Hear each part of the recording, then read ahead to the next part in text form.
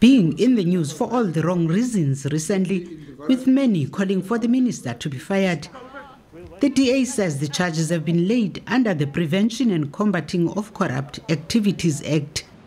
This morning I have come to lay criminal charges against Dr. Zweli Mkhize and the Director General of the Department of Health, Dr. Sandile Buthelezi.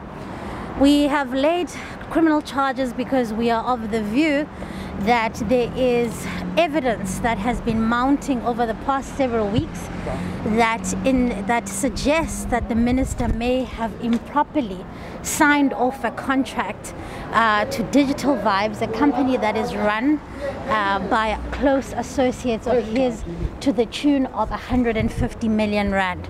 It is our contention that this could be in contravention of the Prevention and Combating of Corruption Act. The Special Investigation Unit is investigating the matter.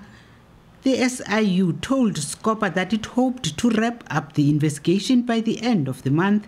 President Cyril Ramaphosa announced that he was also dealing with the matter and that Mkhize was cooperating fully. The DA, however, says Mkhize should have long been suspended. We are also of the view that the president failed yesterday to take any form of leadership by suspending uh, Dr. Mkhize pending the conclusion of the SIU investigation. We think that this is improper and we think that actually it could essentially form uh, undue political influence if the minister is in his post while in fact he is being investigated. Mkhize allegedly signed off on the contract with Digital Vibes, whose directors Tahira Mita and Naadhira Mitha are allegedly his friends.